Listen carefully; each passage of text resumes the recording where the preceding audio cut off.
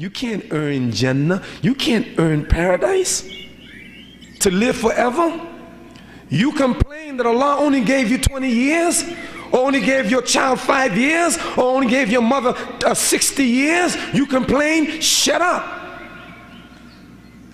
What is 60 years? What is 100 years? What is 150 years compared with infinity in paradise of the greatness of paradise and all the joys and the pleasure of paradise? Imagine being in paradise with your grandmother that died years ago, or your grandfather, or your mother, or your daughter, or your son, or your husband, or your wife. Imagine being in paradise together forever. No more death.